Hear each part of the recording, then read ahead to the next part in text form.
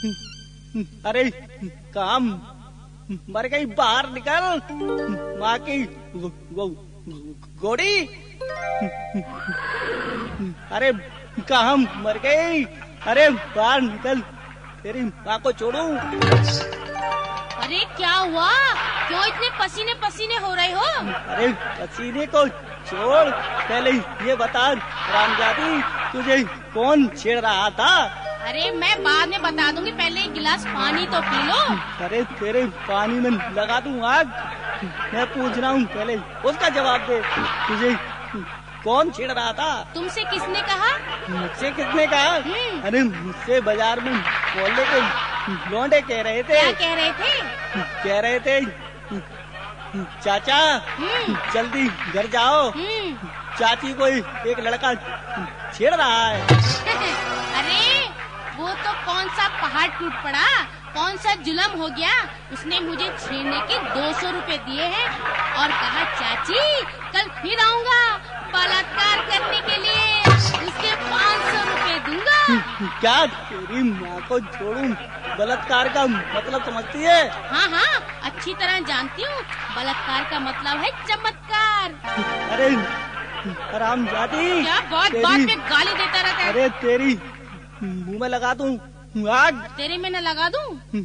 बलात्कार का मतलब चमत्कार नहीं होता। फिर क्या होता है? बलात्कार का मतलब होता है इज़्ज़त लूटना। हम्म। समझ रही? हम्म। वो तेरी इज़्ज़त लूटने आएगा। इज़्ज़त होगी तो ही तो लूटेगा। वो तो फ़िल्म का हीरो है रिहर्सल करेगा। एक दो मिनट की रिहर्सल के पाँच सौ रूपए क्या बुरे हैं? कभी कभी लुगाई की खोपड़ी से भी काम कर लिया कर। जाओ बज...